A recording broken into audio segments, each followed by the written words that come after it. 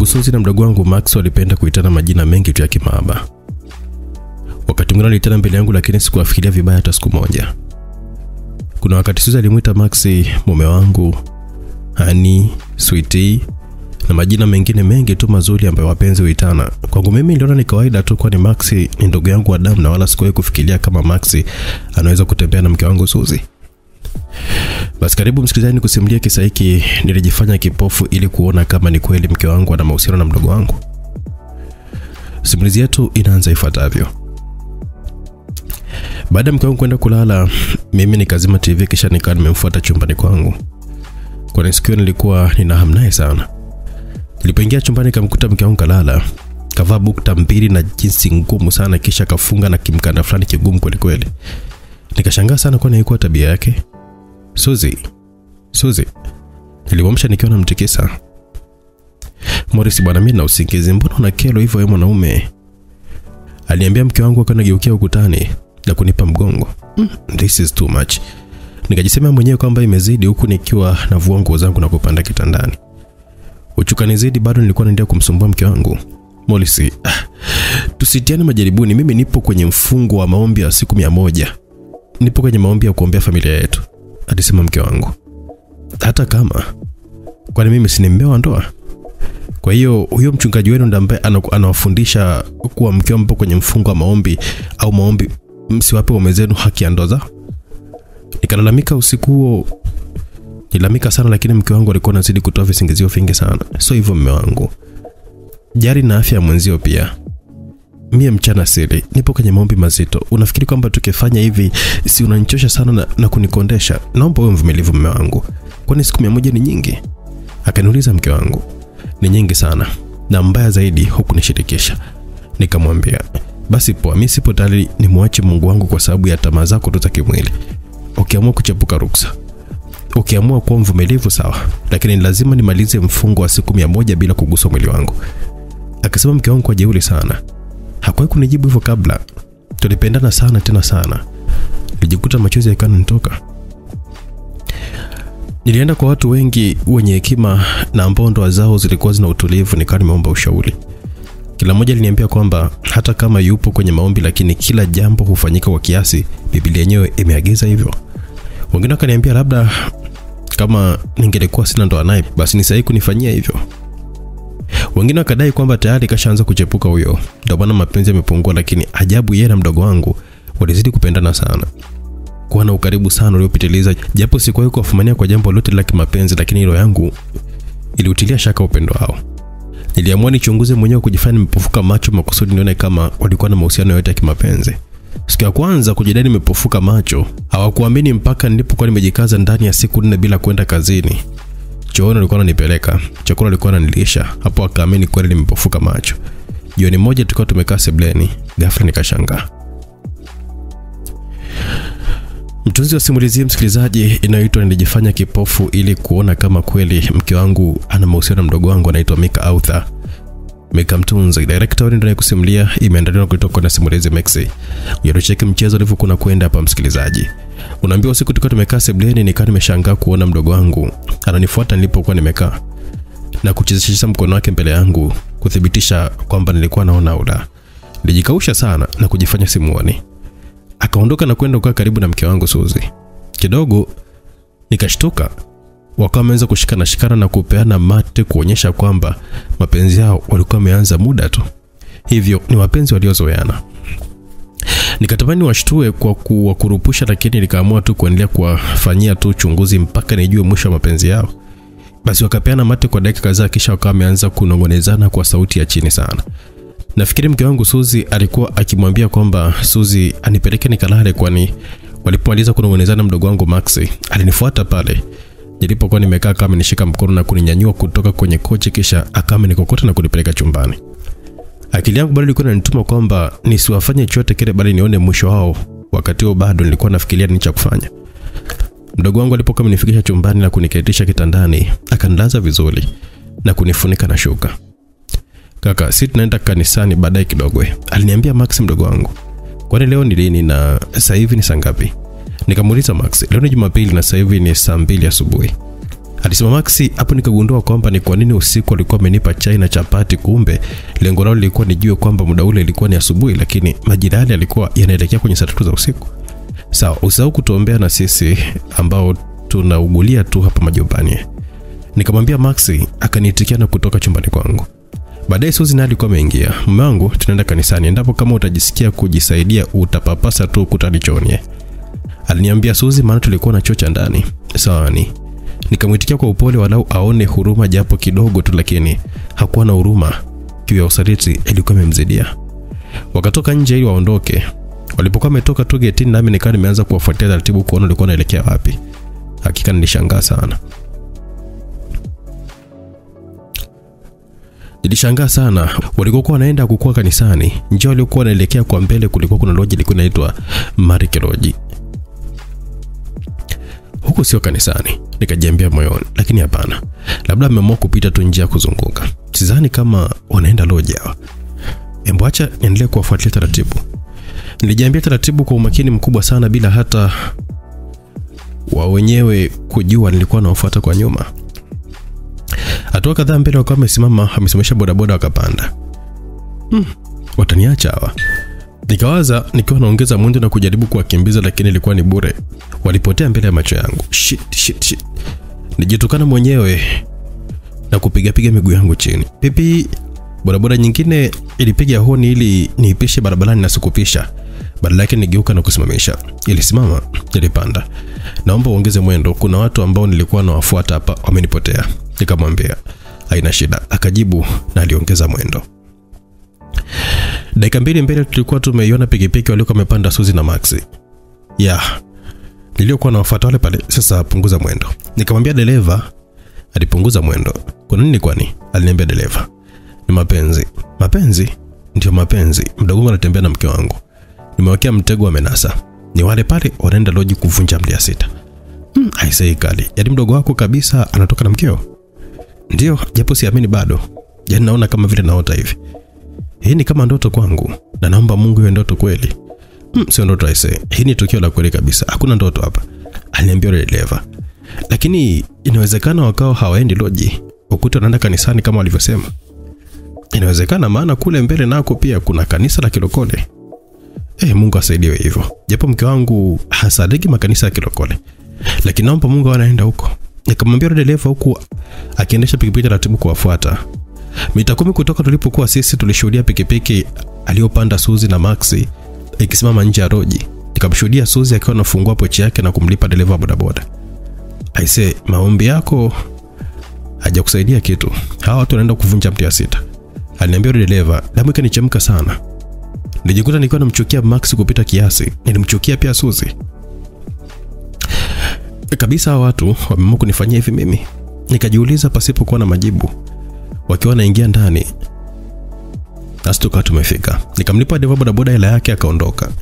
Nikajiweka sawa na kuingia ndani na ku, kwa kunyata sana bila wao kujua. Walikuwa wanafuatilia wakawa wamelipa chumba pale na kuelekea chumbani. Nami niliinama pale kaunta na kupita chini chini bila kuonekana. Nilitokea kwenye korido na kuwashuhudia wakiwa naingia chumbani. Haraka nikajiweka sana ukifuata kile chumba. Hayo yalifanyika, moyo wangu ulikuwa unaniuma sana. Maumivu nilikuwa nayasikia hayakuwa na mfano. Niliumia sana kiukweli. Lakini nikiwa nakaribia kile chumba nikashtuka. Nimepigwa kabari. Wakati natembea kuelekea kwenye kile chumba alipo Max na mke wangu, nikashtuka nikiwa nimepigwa kabari kwa nyuma, huku nikiwa na buruzwa na kutolewa nje na watu wawili wakiwa wamevalia mavazi ya kiaskari ya rangi ya blue. Sikuhitaji elimu yoyote ile kichwani kugundua kwamba wale watu walikuwa ni walinzi wa ile loji. Nikajaribu kupambana nao, lakini sikuweza kufua dafu. Walinikabili ipasavyo na kunipakiza kwenye moja kati ya magari ambayo yalikuwa hapo kwenye ile sehemu ya maegesho. Gari hiyo bavuni ilikuwa imeandikwa security. Wakaondoka na mimi eneo ile la lodge. Mnanipeleka wapi ninyi? Nauliza. Niliongea kwa ufoka sana bro. Bro, sisi ni askari. Kazi yetu ni kuhakikisha usalama na kuwepo muda wote, hasa katika eneo lile pale la lodge, ambapo ndipo tunapofanya kazi.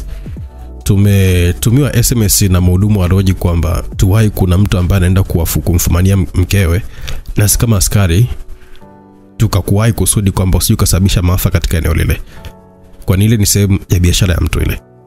Aliniambia askari mmoja wapo kati ya wale wawili hapo mmelinda usalama wao au mie haki yangu iko wapi sasa? eh? hali naona kabisa mali yangu ikiibiwa na kupelekwa sehemu ambayo naona kabisa niliwauliza kwa kufoka sisi tumejali pande zote mbili kwani tumempa taarifa mhudumu wa loji kwamba asije akamtaarifu lolote mkeo ili akitoka pale mkutane nyumbani au popote pale akiwa hana taarifa kwamba ulikuwa unamfuatilia ili kama ni kuuana muane huko kwenu na sio pale kwenye eneo la biashara. Akasema mlinzi mwingine nikaona isiwe kesi nikarudi zangu nyumbani wasubiri. Basi sawa ninachowaomba hakikisheni kwamba hawajui chochote kile kitu kilichotokea sawa? Mkifanya hivyo nitawalinda. Niliwaambia huku nikiwa nawapa pesa kidogo niliyokuwa nayo mfukoni walifurahi na kumpigia yule mhudumu wa loji na kumsisitiza kwamba sije akafungua beseni lake kuwaelezea kitu mke wangu Suzi pamoja na mdogo wangu Max. Basi niliagana nao na kurudi nyumbani. Nilipofika nilipanda kitandani huku nikiwa nawaza sana kwamba niwafanyaje Max na Suzi, lakini jibu nilikosa, kwani bado sikuwa na ushahidi wa kutosha, kwani kwenye kitabu cha mapokezi kule Roji, Max alikuwa ameandika jina jingine na namba tofauti kabisa. Masaa kadhaa yalikatika nikiwa nimelala na tafakari sana. Mara nikasikia mlango wa sebuleni ukifunguliwa. Hapo nikajikausha tena na kujifanya kwamba nimelala. Mke wangu aliingia akaketi pembeni ya kitanda, akanibusu shavuni kwa kiwa ananitikisa na kuniamsha. Morris, mme wangu, nimerudi yani. Leo ibada imechelewa sana kutoka. Alisema mke wangu. Hapo nikabaini kwamba hajajua chochote kile. Kwani sasa hivi ni saa ngapi mke wangu? Nikamuuliza, ni saa tisa jioni mme wangu. Alinidanganya Suzi, lakini muda ule ilikuwa ni yapata saa za usiku. Sawa, hebu nipeleke sebleni nikakae, maana nimelala sana. Vipi na Max yupo sebleni? Nikamuuliza. Ndio mme wangu. Ayamka basi twende.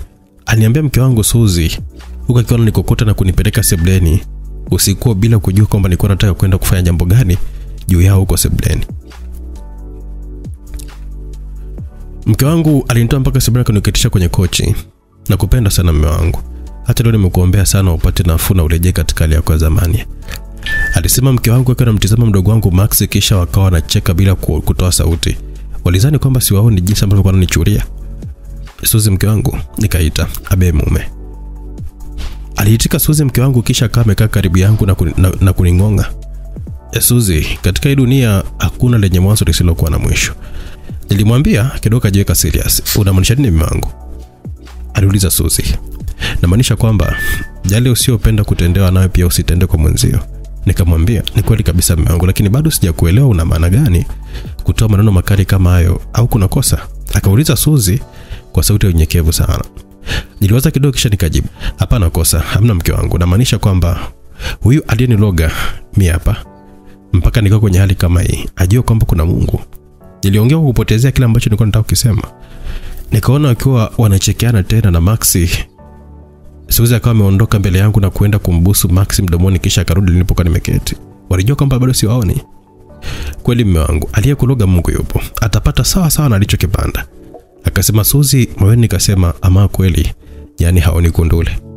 Sasa huyu aliyeniloga atavuna alichokipanda, kwani wao wanachokipanda wakioni. Wakati nimetulia tu nawaza hayo, nikamwona Suzi akiwa anamsogelea tena Max na kuanza ku, kumuuma sikio. Sijui walikuwa wananong'onezana nini. Mimi nikabaki kimya tu nikiona anatizama kwa macho ya upofu ambayo yalikuwa ni ya kuigiza kabisa. Lakini mume wangu, tuachane kwanza na. Nimekaa na Max tukashauriana kwamba kutokana na ugonjwa wako huu ulioupata, tuuze kila kitu huku mjini, tuhamie kijijini, kwa sababu kama ni kazi hutaweza kufanya tena, na sisi hapa mjini tulikuwa tunategemea kazi yako ituendesha katika haya maisha. Tushatumia pesa za akaunti ya benki karibu zitaisha. Mwisho wa siku tutajikuta tukiwa tunauza vitu na hatimaye tutadhalilika. Ni bora tuuze, lakini tukajenge kijijini na tuhamie huko. Nitasaidiana na shemeji Max hapa kukuhudumia tena. Kizuri, maisha ya kijijini ni mepesi sana, alisema mke wangu Suzi. Kwa vile niliwaona wakiwa wananong'onezana na Max dakika mbili zilizopita, basi nikajua kwamba kuna mpango ambao alikuwa anaupanga tena mkali sana. Moyoni nikasema wala hata nisiwasumbue kwanza nataka nikifanya maamuzi juu yao nifanye maamuzi ambayo kila mmoja wao atajuta, hivyo nimkubalie ili nione huo mpango wao ukoje. Sawa mke wangu, nikamjibu. Sasa kanikumbatia na kunibusu shavuni. Ndio maana nakupendaga sana mume wangu, maana huko unanisikiliza mkeo, alisema Suzi huko akiwa anamtizama Maxi na kumkonyeza. Mume wangu, kwa nini una njaa sana? Maana nimechoka sana. Kwa nini tusikupatie wewe hizi chips tulizokuwa tumekuja nazo, ule ulale mapema, ili kesho tudamke kuanza proses ya kuuza vitu, kesho kutwa tuhamie kijijini, alisema mke wangu, akijua kwamba najua muda ule ilikuwa ni jioni, kumbe ilikuwa inakaribia saa tisa usiku. Kwa kweli sikuwa na hamu ya kula, Hamu yangu kubwa ilikuwa ni kutaka kujua mpango hao, hivyo nikawajibu, hata msipate tabu, mie nipelekeni nikalale tu, sijisikia hata kula. Nikajibu, jamani, mme wangu kula tu, alisema mke wangu huku akiona ananingonga na kucheka bila kutoa sauti. Hasira zilinikaba, nikaona liwalo na liwe. Alishtukia kibao kizito kimetua juu ya shavu lake, alipepesuka na kuanguka pembeni, huku akiwa ametoa macho kwa mshangao, asiamini kabisa alichokuwa nakiona. Wakati huo Maxi mdogo wangu naye tayari alikuwa amesimama kwake, anatetemeka mwili mzima kwa uoga, mpaka haja ndogo ikamtoka pale pale. Nilijua mienendo yenu tangu kitambo sana. Maxi, ulikuwa karibu na shemeji yako, mlitana majina mengi sana kimaaba kiasi ambacho ukaribu wenu niliutilia mashaka. Sikutaka kungoja kupata umbea kwa majirani au watu wa kupita, bali nilikuwa nataka nijithibitishe mwenyewe. Niliwaambia kuwa akiwa na haba la niliwaamuru wote waongoze mpaka kwenye chumba kimoja kati ya vyumba vya nyumba yangu ambacho kilikuwa ni, kilikuwa wazi kabisa. Walitii amri kwa sababu hata wangeamua kunichangia wanipiga wasingeweza. Walipoingia tu ndani ya kile chumba, nikawa nimewafungia kwa nje. Uzuri, nyumba yangu ilikuwa na milango ya chuma mpaka vyumbani. Nikatoka nje na kufunga mlango mkubwa kwa nje kwa kufuli kubwa. Hata wangepiga kelele vipi, hakuna ambaye angeweza kuwasikia kutokana na kwamba nyumba yangu ilikuwa nimejenga kwa mfumo wa kisasa sana, ambao mtu akiwa ndani akikuita we uliye nje kama uweze kabisa kumsikia. Usiku huo nikakaa nje nikalia sana kwa uchungu mkubwa sana, huku nikiwa na tafakari niwafanyie nini, niwafanyie kitu gani wajinga wale. Amini usiamini, nikalia mpaka kukakucha. Moyo wangu ulikuwa unaniuma sana. Mke wangu nilimwamini sana, nilifanya mambo mengi juu yake, na hata nyumba waliokuwa naishi wazazi wake nilikuwa nimeijenga mimi. Alikadhalika mdogo wangu nilimpenda sana, kwetu tumezaliwa wawili tu, mimi na yeye. Hakika niliwaza niwafanyie kitu gani, lakini nikawa nimeshindwa kupata jibu. Nikiwa bado nalia, mara bodaboda aliyenibeba usiku kunipeleka kule loji akatokea. Alinikuta nikiwa nalia kama mtoto. Vipi kaka, nini kimekusibu? Akauliza, nikamwelezea. Mm, kaka, mwanamke sio mtu wa kumwamini kwa asilimia mia. Mwanamke ni kama kinyonga, muda wote ule anakubadilikia, alisema yule bodaboda. Nikaona kama alikuwa ananipigia kelele tu. Sawa, kwa hiyo unishaurieje? Nikamuuliza, Amina kushauri achana na mwanamke, ndugu yako ni ndugu yako tu. Tena huenda mkeo ndiye ambaye aliyemshawishi achana na mwanamke na uwe mwingine. Kwanza ndugu yako atakuwa amejifunza kupitia hili, aliambia yule dereva bodaboda. Japo ilikuwa ni ngumu, lakini niliamua kufungua mlango ili nikawatamkia msamaha. Ajabu, nilipofungua ile mlango wa chumba alichokuwa nimewafungia Suzi na Maxi, nikashtuka sana baada ya kuona baada ya kumwona Maxi akiwa amening'inia kwenye kenchi na Suzi pia akiwa anajifunga kamba shingoni.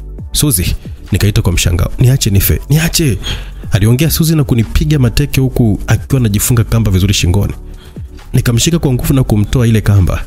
Haraka nikatoka nje na kuchukua kisu na kwenda kukata kamba ya Max, akaanguka chini. Nilimpiga kibao Suzi. Umefanya nini ndugu wangu? Nikamuuliza nikiwa natemeka. Nimefanya nini mimi? Unaongea nini wewe? Akauliza Suzi. Sikumjibu kwa maana sikuwa najua nimjibu nini. Nilinama chini na kumshika Max shingoni. Nilimshika shati na kujaribu kumtikisa. Nikamtikisa huku nikiwa namuita kwa jina lake. Nilimwinua juu na kumpiga chini kwa imani kwamba angeshtuka. Max, Max, mdogo wangu Max. Nilimwita huku machozi yakiwa yananitoka. Max hakuonyesha dalili ya kuwa hai. Muonekano wake ulionyesha kasha kufa zamani sana. Nilitumia kila mbinu kujaribu kumwamsha lakini kashindikana. Wakati mimi nikipambana kumwamsha, Suzie alikuwa akinisimanga kwa maneno mengi sana. Alikuwa akinitukana akiniambia kwamba mimi ndiye niliyemuua mdogo wangu. Maneno yake yaliniingia kwa kiasi fulani, niliamini hivyo. Akiniongea niambia ni kweli mimi ni muuaji. Tamaa na wivu wangu wa kutaka kujua ukweli kuhusu mahusiano yake na mke wangu ndio amesababisha kifo. Kama nisingejifanya kipofu ukute Max asingekufa, nilijiambia mwenyewe. Nilichoka. Pale pale nikawa nimewaza jinsi mama atakavyokuwa ameipokea ile taarifa. Niliwaza maumivu ambayo mama atayapata baada ya kuambiwa Max amekufa. Nilijikuta nikiwa namuonea huruma mama. Pia nilimwonea huruma sana Max. Ndani ya muda mfupi nilisahau yote ambayo alikuwa amenifanyia. Wakati nikiwa nimesema kwenye lindi kubwa la mawazo, Suzie alichukua vile vipande vya kamba nilivyokuwa nimevikata na kujifunga kitanzi ili ajinyonge tena. Hayo yakifanyika sikumjali hata kidogo. Akili yangu ilikuwa kwa Max na mama. Acha na mimi nife sasa, tuone utapata faida gani ukifungwa maisha jela, aliongea Suzi. Kauli hii ilinitibua sana, nikajikuta namchukia kupita maelezo. Nikasema pale chini na kumvamia. Pa, pa, nilimchapa makofi mfululizo. Ngumi za uso nilimpasha. Nilimsukuma chini na kumnyang'anya zile kamba kisha nikaa nimetoka nje. Niliufunga mlango kwa nje na kwenda nje ya nyumba yangu. Nilikaa chini na kushika kichwa changu. Niliwaza nifanye nini kutokana na yale ambayo alikuwa ametokea nifanyeje? Nikajiuliza wakati najiuliza hayo yule bodaboda alikuwa amenipeleka loji usiku alipita mbele yangu. Bro kwema akaniuliza sio kwema ise. Ni majanga juu ya majanga. Nikamwambia eh yale matatizo hajaisha tu. Yamezidi kuwa makubwa. Yaani ningelijua kwamba itakuwa hivi wala nisingewafuatilia. Ningewacha tu na mapenzi yao na mimi ningeenda mbali kabisa. Nilimwambia machozi yakiwa yananitoka "Hmm, kimetokea nini tena? Kifo. Kifo. Kifo mdogo wangu nilishindwa kabisa kumalizia nikajikuta nikiwa nalia tena kwa uchungu mkubwa sana. Muda wote huo nilikuwa nalia. Sikuwa namwazia max bali nilikuwa namwazia mama. Nilikumbuka wasia wake na mapenzi yake makubwa kwa max. Bro wewe ni mwanaume. Mitihani kama hii ni kawaida sana kwako. Kwa imara. Ni vyema ukanielezea ilikuwaje ili kusaidie, aliniambia nikajifuta machozi na kumsimulia ilivyokuwa. Du pole sana. Kwa hilo hakuna ujanja mwingine. Hapa dawa ni kuwapigia polisi tu aliniambia alitoa simu mfukoni na kuwapigia. Polisi walifika ndani muda mfupi baada ya kupigiwa simu na yule bodaboda. Morris umeua? Chezo ni nini kaka? Aliniuliza aliuliza skariboni kwani tulikuwa tunafahamiana sana. Sijaua kaka na siwezi kufanya hivyo. Nipo tayari hata kwenda mahakamani kujibu kesi hii. Niliongea huku nikiwa nalia. Acha ujinga Morris. Utaenda kuozea jela hii kesi ikifika mahakamani huna pa kujitetea. Hali ya kwamba maiti imekutwa ndani kwako. Hebu tueleze kwani ilikuwaje kwaje aliniuliza askari boni kamanda mke wangu amekuwa akitembea na marehemu mdogo wangu Maxi kwa muda tu. Nilipofanya uchunguzi nikagundua hilo. Niliamua kuwafungia ndani kunikifanya niwafanyia lakini kumbe wakati nilipokuwa nimewaacha humo ndani walichukua maamuzi ya kujinyonga. Hata mke wangu Suzi pia nilimkuta akiwa ndo anataka naye pia ajinyonge nikamwokoa. Nikamwambia askari hapana huyu kamnyonga mdogo wake mwenyewe na mimi alikuwa anataka kuninyonga ndo nikawa nimepiga kelele. Suzi akazidi kunichochea sikujua lengo lake ni nini haswa. Hmm, Morris. Hebu hili jambo tulimalizeni kinyumbani tu maana ni zito sana endapo kama utafikishwa kwenye vyombo vya sheria. Sisi ni binadamu na kesi ni nzito sana. Hebu tuongee tu kibinadamu. Msamehe mkeo kitu cha kwanza maana usaliti kwenye ndoa upo na watu wanaishi. Pili kampusha mdogo nyumbani. Na jambo la tatu ambalo ni la muhimu sana niandalie milioni hamsini tu kabla mambo haja makubwa. Alisema fandeboni kwa sauti ya chini msisitizo sana. Yeye ni moja kati ya maskali ambao nilikuwa na urafiki nao sana sikuwa na jinsi ikabidi nikubali nikaomba maskali wanivumilia kidogo tukamzike Max kwanza kisha baada ya mazishi nitawapa hiyo hela yao. Sawa ila ukitusaliti hatutakosa cha kufanya. Akasema Fateboni. nikawapa hela kidogo ya chai wakaondoka na ule bodaboda kisha nikabaki mimi na mke wangu suzi. Suzi nashukuru kwa ulionifanyia ila kwa kweli siwezi kuendelea kuwa na wewe tena. Naomba uniache nikamzike mdogo wangu. Nilimwambia suzi ah, unaniachaje kwa mfano yaani ukimwaga mboga mimi namwaga ugali. Ukiniacha mambo yote nitaweka hadharani.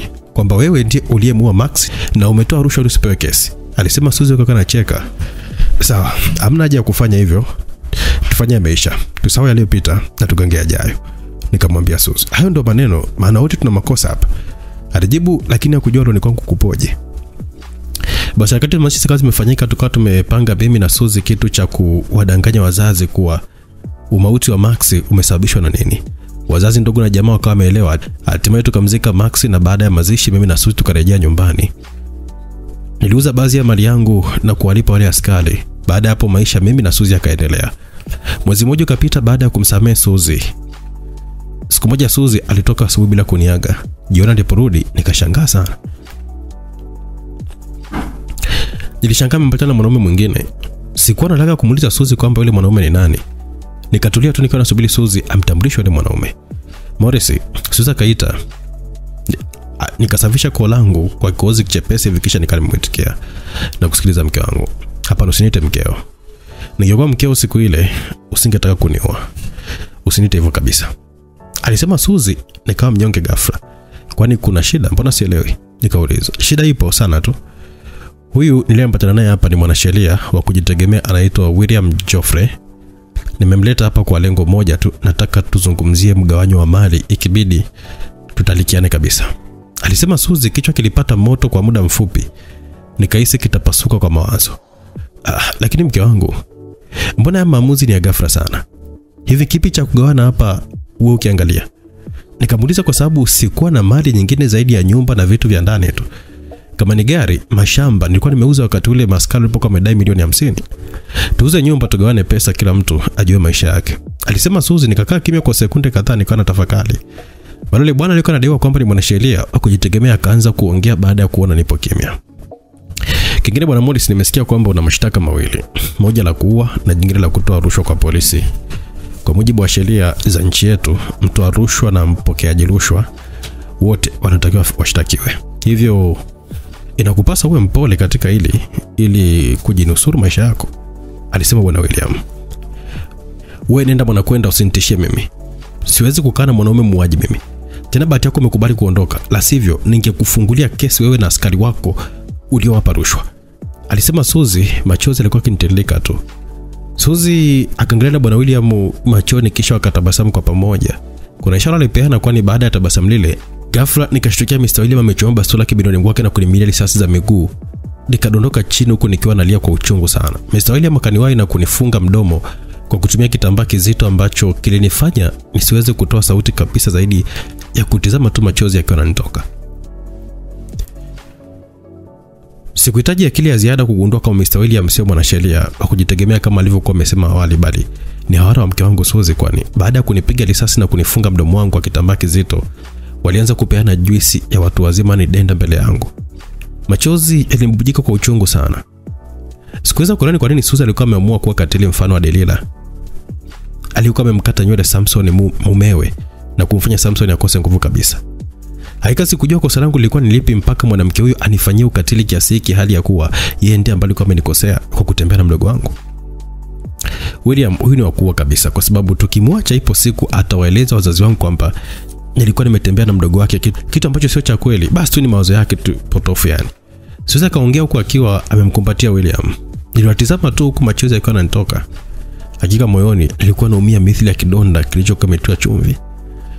Usijali yani, acha niwapigie simu vijana wangu waje wamchukue huyu mjinga wakamtupe kwenye daraja la mto Sekinile. Ni mto mkubwa sana, una kina kirefu sana, zani kabisa kama tapona, alisema William. Ndiyo, afe tu, si tule maisha bwana. Wivu wake wa kujifanya kipofu ili tu achunguze mambo ambayo hayapo amejiponza mwenyewe, alisema Suzi huku amekuwa anawapigia simu vijana wake ndani ya dakika za kuhesabu tulikuwa ameshafika vijana ambao miili yao ilikuwa imejengeka kwa dona. Wakanitoa kama mwewe anavyokuwa anatoa kifaranga, kisha wakawa wamenitoa nje na kunipakiza kwenye gari ambapo alinifunga kitambaa machoni ili nisiweze kuona, na hapo wakaondoka na mimi kwa spidi sana.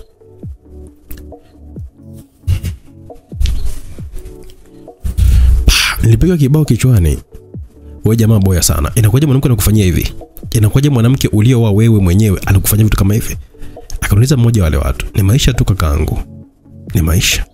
Nikamwambia kwa sauti ya ukata tamaa kabisa, umezidi urofa ise. Umeishi na yule mwanamke kwa muda mrefu sana. Imekuwaje umeshindwa kabisa kuelewa kama ni mtu mbaya? Ona sasa unaenda kuliwa na mamba mtoni. Maisha yako yanaisha kipumbavu sana kwa sababu ya mapenzi. Aliniambia yule jamaa. Nisaidieni tafadhali, nisaidieni. Mimi ni mwanaume mwenzenu, nisaidieni. Tumelipwa hela kufanya hii kazi. Hatuna namna nyingine zaidi ya kukutupa tu kwenye ule mto. Mkuu, usiongea naye huyu. Ukiongea naye unaweza kumwonea huruma alafu tukashindwa kwenda kumtupa kwenye ule mto. Kumbuka William anaga utani akiamua jambo lake. Yaani hapa tufanye kazi yetu kisha tuendelee na masuala mengine. Akaongea jana mwingine sikuwaona kwa kuwa nilikuwa nimefungwa kitambaa usoni. Dakika kumi mbele gari likasimama, moyo wangu ulidunda kwa kasi sana. Wale jamaa walifungua milango ya gari na kushuka chini. Mimi wakaniacha ndani. Ndio tumeshafika mtoni. Umeenda kwenye daraja, wanataka kunitupa. Nikajiuliza moyoni kwa kuwa nilikuwa sioni. Hofu ikazidi kunishika, moyo ulikuwa unanidunda kweli kweli. Niliona kifo mbele yangu. Dakika mbili baada ya kushuka, wale vijana wakawa wamerudi tena. Walinishika na kunishusha chini. Tulikuwa tupo juu ya daraja la ule mto. Mmoja kanishika mikono na kunisogeza kwenye ukingo wa daraja. Pole sana, haya maisha umechagua mwenyewe, usilomu sisi. Mlaumu mkeo kwa yote, aliniambia yule jamaa huko akiwa anajiandaa kunisukuma. Alinisukuma kwenda mbele, kisha akanirudisha kwa nyuma. Mbona umtupi? Kijana mwingine akamuuliza.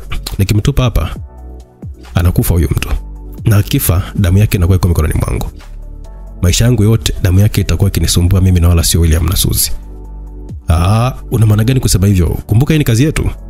najua ni kazi yangu kuwa watu lakini si watu bule hata siku moja. William amekuwa mjanja sana. Hii ni kazi ya toto anataka nimfanyie bure. Wewe mwenyewe umemsikia baada ya kumpigia simu. Analeta stori za ajabu ajabu sana yani. Kwa hiyo unashaurije tumwache kijana hapa afu si tusepe zetu. Aliongea yule jamaa aliniacha pale kwenye ukingo na kupanda kwenye gari. Mwenzake pia alimfuata. Nilihema kwa nguvu sana na kujaribu kuwafuata kwa nyuma. Unaenda wapi? Kaa pale. Akaniambia kwa ukali sana yule mwingine naomba mnisaidie. Naomba mnipeleke hospitali. Hapa polini na haya majela na ya risasi. Nitapata tabu sana. Nikaomba machozi akawa yananitoka jamaa aliyekuwa amegaili kunitupa chini akashuka na kunishika mkono. Akaniingiza kwenye gari kisha akamwambia mwenzake ambaye alikuwa akinishangaa aliondoe gari. Wakanipeleka hadi kwenye geti la hospitali na kunitupa nje ya geti kisha wakawa wameondoka. Mlinzi hospitali kama amenifuata pale chini. Aliwaita wahudumu wakanichukua na kuniosha wodini. Haraka walinitundikia drip na kunipa huduma ya kwanza kiutaratibu ilibidi ulete fomu ya pf3 kwanza ndio utibiwe lakini tumefanya msaada tu. Aliongea ule nesi na kuondoka. Nikiwa nimebaki peke yangu nilisali sala baba yetu zaidi ya mara tatu. Nikamshukuru mungu kwa kuniepusha na kifo kutoka kwa wale watu. Pia nilimwomba anisaidie niepukane na mke wangu suzi wakati nikiwa naomba nilikuwa nimefumba macho. Lakini kwa mbali nilikuwa nimesikia mlango wa ile ulikuwa unafunguliwa na miharaka nikafungua macho Hello. Huwezi kuamini. Nilikutana na macho ya Suzi akiwa naingia Lazima ufe Morrison. Huwezi kuepuka hili. Akaniambia kwa naushika mkoba wake vizuri. Umejua kama niko hapa? Nilimuuliza. Watu waliokuleta hapa mmoja wao ndo kaniambia. Tena aliniambia wakati mwenzake katusaliti na kuamua kukuacha wewe badala ya kukutupa kule darajani. Aliongea Suzi kwa kitabasamu, alifungua pochi yake na kutoa kitambaa. Mungu amenipa nafasi ni kuwa mwenyewe maana ungeuliwa na wale watu wala isingekuwa sawa kabisa. Aliongea kwa nisogelea na kitambaa ili anizibe mdomoni. Akiwa karibu kabisa na mimi kabla janiziba mlango wa ile wodi kwa umesukuma na akaingia nesi neema ile kuingia tu Suzi haraka sana akarudisha kitambaa chake kwenye pochi. Dada samani mbona umeniona ukashtuka na inaonekana kuna kitu ambacho umekirudisha kwenye pochi yako? Nesi neema akamuuliza Suzi kabla Suzi hajajibu nikaamua kuongea mwenyewe japo sauti ya chini iliyokuwa imetokana na maumivu ya mwili. Nes, kuna kitambaa cheupe alitaka kuniwekea puani, lakini huyu ndiye ambaye alikuwa ametaka kuniua na ndiye steering wa mpango wote wa kuteka kwangu. Nikatoboa ukweli huku Suzi akawa anatetemeka tu. Nes alitaka kurudi nje mbio. Nafikiri alikuwa anataka kaite watu, lakini Suzi alimweka mdaka. Alimkandamiza ukutani huku akiwa anatoa kile kitambaa cheupe kwenye pochi yake. Nesinema alipiga kelele huku Suzi akawa anajitahidi kumfunga mdomo ili amwekea kile kitambaa puani ambacho kilionekanika kwamba kilikuwa na sumu ambayo mtu akivuta kwa kunusa basi anakufa.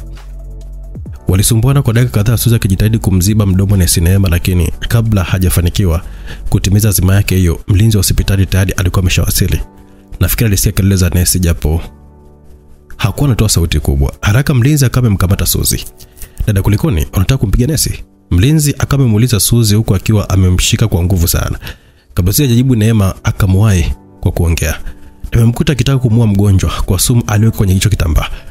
Mliza kama amemtoa Suzi nje na sikujua kilichoendelea huko nje mpaka baadaye Nesi Neema alipokuwa amerudi tena kuja kuniona. Wamempeleka wapi? Nikamuuliza Nesi Neema. Wamempeleka kituoni na mimi nikaitwa huko kituoni nikatoa ushahidi, lakini yaliyoendelea huko yanasikitisha sana kaka. Ama kweli pesa iko juu ya sheria, alisema Nesi Neema. Machozi yakaanza kumtoa kisha akaanza kuongea. Niliitwa kituoni ili nikatoa ushahidi kwamba ni kweli Suzi alikuwa anataka kukuua. Basi nilipofika nikaelezea hali halisi ya tukio lilivyokuwa. Suzi akasachiwa kwenye pochi yake na kweli alikuta na kile kitambaa kilichokomekwa sumu ya maji ambayo inaua kwa njia ya hewa. Ajabu polisi wakatembea mimi na mlinzi tutoke nje, wakabaki na Suzi pamoja na mkaka mmoja hivi ambaye alijitambulisha kwa jina la William. Sisi tulitoka nje, lakini mimi nilizunguka nyuma ya dirisha la kituoni kusudi nisikilize kwamba ni ajenda gani asili ambayo ilikuwa inataka kuendelea. Basi nikiwa niko nyuma ya dirisha, nikawa nimebahatika kusikia maneno machache ambayo William alikuwa akiwaelezea polisi. Sawa, hiyo pesa ipo na nitawapa kesh, ila tu leo saa tatu usiku mgonjwa ameshakufa. Basi niliposikia vile haraka nikawa nimetoka nyuma ya dirisha lile pale kwa usalama wangu, kwani ningekutwa pale ingelikuwa ni tabu kwangu. Baadaye polisi wakawa wametuelezea kwamba sisi tuondoke tu, wao watamchukulia Suzi hatua za kisheria. Basi ndipo tukawa tumeondoka, lakini mimi nilikuwa na moja kichwani kwamba leo saa tatu usiku unauawa. tena polisi wakihusika kwenye suala hilo. Alinielezea nesi Neema, nikavuta pumzi ndefu huku ikiwa namtazama usoni. Nilikosa jibu la kumpa zaidi ya kumuuliza, hasa tunafanyaje? Maana tukisema kwamba kashtaki polisi, hapo polisi ndo ambao wamepewa hiyo kazi ya kuniangamiza mimi. Hasa sielewi mimi jamani. Nikaongea kwa uchungu kichwani nikiwa najisi kuvurugwa. Ngoja nije, alisema ni sinema kisha akawa ametoka nje. Baada ya dakika kadhaa akawa amerudi. Si utaweza kujikaza utoke nje? Aliniuliza, nikamjibu ndio. Nilijikaza kunyanyuka kitandani, nikawa nimetoka nje huku nikiwa na, na mfuata nyuma. Tulienda kuingia kwenye lava 4 ya rangi nyeusi. Dereva alikuwa ni nesi mwenyewe. Hapo nikabaini kwamba lile gari lilikuwa ni lake. Tukawa tumetoka nje ya hospitali na kuishia barabara ya lami, huku nesi Neema akiwa anakimbia kwa kasi sana. Alienda kufunga breki nje ya jengo moja lenye ukuta mrefu sana kwenda juu kiasi kwamba bati la nyumba hiyo alikuonekana. Hapo alipiga honi, kisha geti likawa limefunguliwa. Nesa akaingiza gari ndani. Nje ya ua wa nyumba hiyo tulikuwa tumekuta wanaume wengi walikuwa wamejazia kisawasawa wakipiga mazoezi. Pia kulikuwa na magari yao aina tofauti tofauti. Mimi nitakuacha hapa nirudi kazini. Hapa ni sehemu ya amani. Shaka ondoa kabisa. Alisema ni sinema kumkabisha jamaa mmoja hivi kati ya wanaume ambao tulikuwa tumewakuta wakiwa wanapiga mazoezi. Na sinema alipoondoka tu hazikupita dakika tano ghafla nje ya geti tukawa tumesikia honi ya gari. Mwanaume mmoja mnene alikuwa amejazia misuli na kidali alienda kufungua geti, na ndipo nikawa nimeshangaa kuona gari dogo hivi aina ya Mercedes Benz lilikuwa linaingia. Moyo ulinipasuka pa mithili ya kukuni mkavu baada ya kumwona mke wangu Suzi akiwa amekaa kando ya William ambaye ndiye alikuwa dereva wa gari lile. Eh, Mungu, niliwahi kusikia kwamba wewe unafanyaga njia pasipokuwa na njia. Hivi Mungu si ndio ambaye uliowavusha wana wa Israeli kwenye bahari ya Sham? Angalia bahari iliyopo mbele yangu Baba. Angalia Farao na wafuasi wake wanavyotabasamu. Nitetee Baba. Iliomba kimya kimya, kwani Suzi na William walishuka kwenye gari lile wakiwa na tabasamu sana. Hongera sana Catherine kwa kazi nzuri uliyoifanya. Just keep it. Alisema yule makana mpongeza Catherine ambaye alionekanika ndo alikuwa ni mkuu wa wale mabondia niliokuwa nimewakuta pale kwenye ile jumba. Hamna shida Mr. William. Mtu wenu huyo hapa tumempata kilaini sana, lakini Mr. leo inabidi utulipe pesa ya kazi zote ambazo ulikuwa unatupatia, maana hii itakuwa ni kazi ya tano sasa hivi, lakini hatujambulia hata mia. Catherine alimwambia William, ni sawa, lakini mimi sina hela kwa sasa, mambo yangu yameenda vibaya sana, naombeni niwalipe milioni mia hamsini ndo pesa nilionayo na sina nyingine, bora niwe tu mkweli. Akasema William. Wakati huo Suzi alikuwa amemwegemea na kukiweka kichwa chake kifuani kwa William kimahaba sana. Machozi yakanitoka kila nilipokuwa nikimtazama Suzi. Hapana bosi, huwezi kutulipa milioni mia hamsini wakati nakudai milioni mia sita bora hata ungenilipa nusu. Walianza kurumbana wakati wa mimi nilikuwa naangalia tu. Mabondia wakawa wametoa bastola zao kumnyoshea William.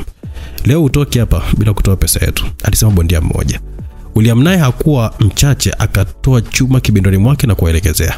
Sasa tuwaneni tuone kama hizo milioni mia sita mtazipata wapi. Waliambizana pale huku wakiwa wamenyoshana bastola.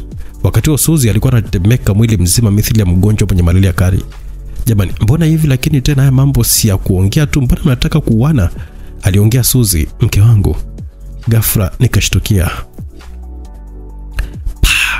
Ilibidi nifumbe macho kwanza kwa mlio ule. niliofungua macho William alikuwa yuko chini huko damu zikiwa zinamtoka kwa pressure mithili ya bomba ambalo lilikuwa limepasuka. Suzi alikuwa analia kwa uchungu sana huku akiwa amesimama pembeni ya William. Mbona umemua sasa? Bondia moja akamuuliza Catherine mkuu wao. Bora tupate hasara lakini sio kuendeleza litapeli. Pesa kitu gani bwana? Kwani nimepoteza ngapi? Ala. Aliongea Catherine, mwanamke ambaye alikuwa na sura mbaya tena ya kutisha kiasi kwamba akimtazama mtoto anayelia lazima tu mtoto huyo afunge mdomo wake. Jamani, msiniue, msiniue na mimi kama hiyo pesa mnayomdai William nitalipa yote, alisema Suzi huku akiwa amepiga magoti mbele ya Catherine ambaye tayari alikuwa amemtarget ili amtwange risasi ya kichwa. Utapata wapi hizo pesa milioni mia sita zote kama sio mwongo wa mwanamke? Unataka kujitetea ili tusikuue, si ndio? Catherine akamemuuliza Suzi. Zipo jamani, benki na milioni mia nne nikijazia na hizi milioni hamsini nitakuwa tayari nimelipa hilo deni lote, lakini na nyie nikamilishie kazi yangu ya kumua huyo mtu, alisema Suzi, akimaanisha kwamba Catherine na mabausa wake wakamilishe kazi ya kuniua mimi. Sawa, kijana uende naye mpaka benki ampatie hizo pesa. Alex, chukua huyo mtu mumpeleke kwenye chumba cha usiku kule, ya black room, mkamue. Catherine alitoa amri kwamba nikauawe. Suzi aliachia tabasamu pana sana usoni mwake. Mabaunsa wawili Alex na mwenzia wakawa wamenibeba juu juu na kuniingiza ndani ya chumba cha kutisha sana. Wakanivua nguo zote na kuniketisha kwenye kiti cha chuma kilichounganishwa na waya wenye shoti ya umeme. Kabla hajawasha swichi na kunipiga shoti, mara Catherine akaingia. Jamani Alex, jamanisha umuue, mbona nimekuonyeza pale? Unafuata maelezo, siku nyingine nitakuchapa risasi. Alifoka Catherine wakati huo usuzi alikuwa yuko nje. Samani boss, alijibu Alex huku akiwa anatoa mkono kwenye swichi ya kupiga shoti. Sasa ipo hivi, huyo dada hapo nje inasemekana kwamba hana pesa yote ile. Pesa zao shaunga polisi. Anachotaka afanikiwe tu kutoka kwenye ile jengo, na kama atatoka na mtu kwenda huko benki akamjazia nzi huko benki, mtu wetu auawe ili yeye aw- aw- aweze kusepa. Taarifa hiyo nimepewa na Nesinema, maana muda wote nilikuwa na chat naye pale. Isitoshe, Neema yeye aliagizwa tuna maskari amlete huyo mtu hapa ili auawe, lakini Neema akasema kwamba tusimue mpaka atakapokuwa amefanikiwa kuweza kuwafungulia mashtaka maskari waliomtuma, na kanitumia message sasa hivi kwamba amefanikiwa. Hivi hapa cha kufanya, mpeni huyu kaka mavazi yenu yanayomfunika mpaka usoni, kisha machoni atavaa miwani meusi. Akamuru Catherine, nikawa nimepewa mavazi, nikawa nimevaa pamoja na miwani. Sikujua nini kinataka kuendelea. Kaka, utaondoka na huyo mkeo. Yeye atajua kwamba wewe ni kijana wetu, lakini kabla hamjafika mbali, fanya chochote ili kuweza kumdhibiti. Simaanishi muue, bali fanya chochote kila sikujazie watu, maana mpango wake unaonekana kwamba ndio huo, kwa sababu hana pesa. Si utaweza? Aliniuliza Catherine. Mwilini nilikuwa na maumivu sehemu zile ambazo nilikuwa nimepigwa risasi, ingawaje kutembea nilikuwa naweza. Basi nikajibu kwa ujasiri kabisa kwamba nitaweza. Nitaweza dada, nikamjibu Catherine. Sawa, wewe nenda kamalizane na adui yako, sisi hatuhusiki tena, ila hakikisha kwamba unakuja kutoa shukrani baada ya kukamilisha mpango wako, alisema Catherine. Usijali dada, tuko pamoja. Basi tukawa tumetoka nje. Suzi hakuwa akinitambua kabisa yani. Dada, utaondoka na huyu bouncer wetu, utaenda kumpa hizo pesa, sawa? Catherine akamwambia Suzi, sawa sawa, asante, kwa kazi yangu imeisha. Suzi aliuliza ili kujihakikishia kwamba nilikuwa nimeuawa ama. Kazi imeisha. Humo ndani kuna shimo refu sana kwenda ndani huko ambalo lina maji mengi sana. Tumemtumbukiza humo, hawezi kabisa kupona wala kutoka humo, kwani amezama kabisa na haonekani. Catherine akamwambia Suzi, sawa, nashukuru sana. Suzi akajibu kwake, nampa Catherine mkono.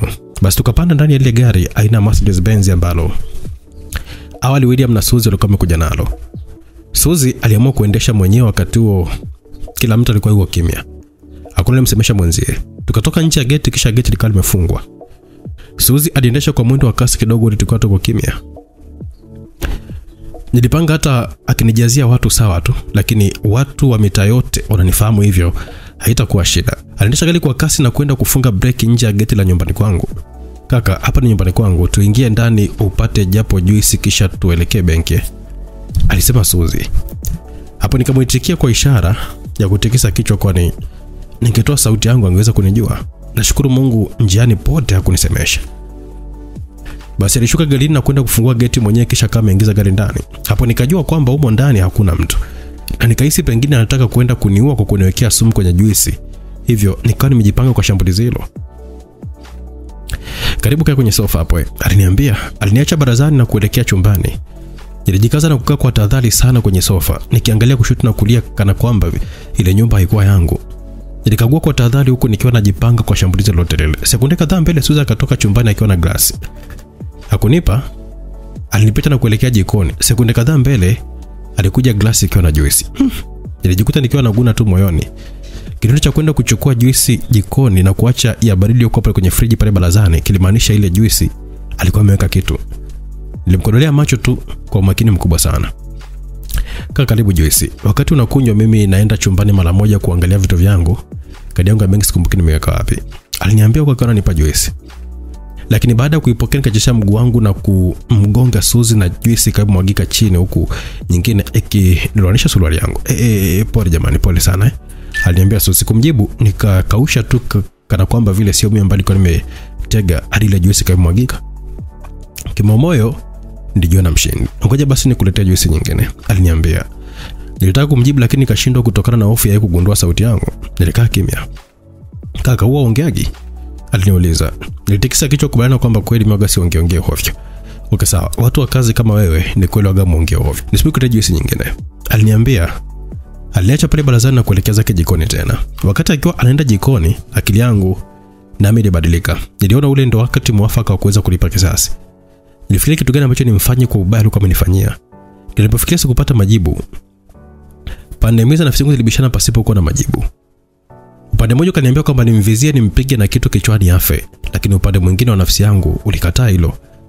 Hakutaka afe mapema. Kwa hiyo nifanyie hapo kabisa kufa mapema.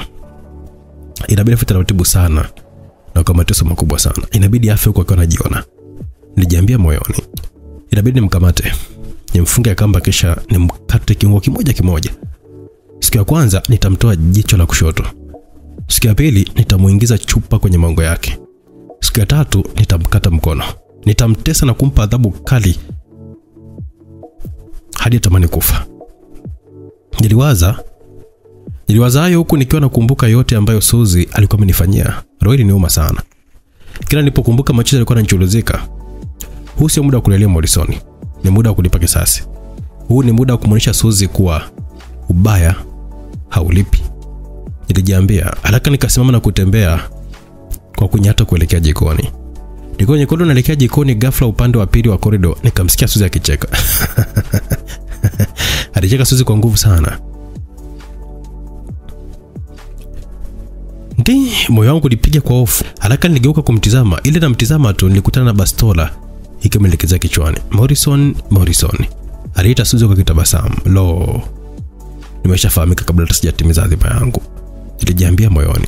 Toka nizaliwe sijawahi kuona mwanaume mjinga kama wewe. Mungu anakupenda na mara nyingi anakuokoa kwenye matatizo, lakini wewe mwenyewe hata ujipendi. Sasa sali sadaka ya mwisho, maana leo sikuachi. Aliniambia wakati akiwa anaongea hayo, nafsi yangu ilikuwa ipo kwenye mt mtanziko mkubwa sana. Kuhusu kufa sikuogopa. Nilichokuwa najiuliza ni Suzi amejuaje katika hali kama ile? Kanijuaje? Nilijiuliza ni kosa gani ambalo nimefanya hadi Suzi kama nijua kirahisi sana na ile. Suzi nilimwita abe, mume wangu. Aliitika kwa kebei kisha akacheka kwa nguvu sana. Sikujali kebei yake, nikamuuliza nilikuwa nataka kujua. Umenijuaje? Nikamuuliza. Nimeishi nawe miaka mingi sana. Najua mengi kuhusu wewe. Najua harufu yako ya mwili. Najua kila kitu kuhusu wewe. Japo wakati tunafika hapa sikuwa nimekujua. Nimekuja kujua baada ya kunitega mguu wangu na juisi nilikuwa nimebaki imemwagika. Pale ndipo nilipata mashaka kuhusu wewe. Na nilivyokuangalia vizuri nikajua kwamba ni wewe Morrison. Na wala sio kijana wa Catherine. Aliniambia. Kauli yake nifanya nisione haja ya kuvaa miwani na ile kofia nikazitoa. Safi sana. Aliniambia baada ya kutoa kofia, Aliitoa basi yake na kulilenga vizuri. Kila ninapopanga kuua, Mungu anakusaidia. Sasa nataka nione kama na leo pia atakusaidia kuepukana na hizi risasi. Aliniambia kwa ananilenga. Alibonyeza kitufe cha kutoa risasi, lakini bastola haikuwa na risasi. Haikutoka kitu. Pale pale sikushangaa. Kwa kasi ajabu nikamwahi, nikamzoa mzima mzima na kumwangusha chini. Akiwa chini nilimpiga mfululizo ngumi za uso pupu pupu. Nilimpiga kwa dakika zaidi ya moja bila kumpa nafasi ya kupumua wala hata kuchoropoka. Mkono wangu wote ulikuwa umejaa damu. Sikujali, nikaendelea kumpiga kwa nguvu zangu zote. Mwanzoni wakati nilikuwa nampiga Suzi alikuwa akipambana, lakini ghafla akaacha kufanya lolote lile na kunifanya nimpige mfululizo. Hali ile ilinitisha. Ghafla nikamwacha pale chini na kurudi nyuma. Alikuwa kazimia. Uso wake ulikuwa umetapakaa damu sivyo kawaida. Nikamfuata pale chini na kumshika miguu, nikamburuza mpaka chumbani. Nikamfunga kwenye kiti na kamba kisha nikaa nimetoka nje kwenda kuchukua ndoo ya maji. Mwa, nikamwagia maji akazinduka. Morrison aliniita. Natamani ufe, lakini kwa ulionifanyia upasi kufa haraka sana. Utakufa taratibu. Nikamwambia. Unataka kufanya nini? Akaniuliza. Nataka kulipa mabaya yote ulionifanyia. Nalipa moja baada ya nyingine. Tukianzia ile mateso uliokuwa umenilioka nimepata leo, adhabu yake ni kukutoa jicho. Nitakutoboa jicho la kushoto kwa maovu ulionifanyia leo tu. Kesho nitakuja tena na nitakuja kukuadhibu kwa maovu ya siku za nyuma. Uovu wote ulionifanyia utaulipa taratibu kwa mateso makali sana. Nikamwambia, kuhukumu ni kazi ya Mungu Morrison. Ni kweli nimekutendea ubaya mwingi, lakini sio kazi yako kuhukumu. Mwachie Mungu, mwachie Mungu, aliniambia. Kauli yake kama imenitibua sana. Nikamsogelea na kumuuliza alivyokuwa nifanyia ubaya, kujua kama kuna Mungu. Nikamuuliza kwa hasira kali sana. Wakati namuuliza, mikono yangu ilikuwa inacheza kwa hasira sana. Nikachukua kisu na ukisogeza jichoni kwake, lakini kabla sijafanya lolote ile, nikawa nimesikia sauti ya king'ora cha polisi nje. Pale pale nikaachia kile kisu chini na kuwahi mlangoni, lakini kabla sijafungua mlango ulipigwa teke na wakawa wameingia askari polisi wakiwa wamejihami. Kwa hofu nilinyosha mikono yangu juu. Morrison ni, ni mzima? Akauliza yule askari kwa mshangao.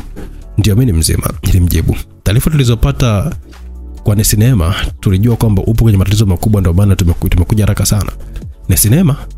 Ndio, Nesinema alifungua kesi makao makuu na ya kuwashtaki askari polisi walikuwa wameshirikiana na mkeo kutaka kuua. Wale wote wamekamatwa na ni yeye ndiye ambaye alikuwa ametuambia kwamba upo kwenye matatizo. Kwanza mkeo yuko wapi? Aliniuliza. Nimemfunga kamba chumbani. Safi sana. Ni vizuri hujamuua. Ungemuua nawe pia ungelikuwa kwenye matatizo makubwa sana. Kazi ya kuhukumu ni ya mahakama, aliniambia.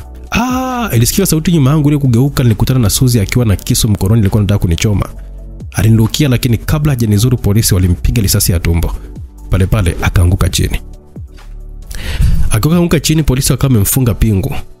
Walipiga simu, gari la wagonjwa likawa limekuja. Sisi alipakizwa na mimi pia nikawa nimepakizwa. Nusu saa mbele tulifika hospitali. Siku mbili mbele Suzi akazinduka. Alisomea mashtaka ya kutaka kuniua na kumua Max akiwa yupo kitandani. Aliambiwa upelelezi wa kesi unaendelea na atatibiwa akiwa yuko chini ya ulinzi. Haina haja kulia na upelelezi, nakubali makosa yangu. Nakubali nilimnyonga Max na pia nitaka kumua mume wangu. Nimemtendea mengi maovu. Sina haja kuendelea ku kudanganya. Mwisho wangu umefika. Aliongea Suzi akiongea mlango umesukuma na kama ingia nesi. Naomba nibadilishe mpira tayari umejaa mkojo. Aliongea nesi. Umejaa mkojo? Nikauliza kwa mshangao. Ndio, risasi ambayo aliyokuwa amepigwa imeharibu mfumo mzima wa njia ya mkojo. Hivyo tumwekea mpira tumboni. Maisha yake yote sasa atakuwa na kujua kutumia huu mpira hapa tumboni. Aliongea nesi. Nikadua kwa mshangao, ghafla tu nikajikuta nikiwa namwonea huruma Suzi.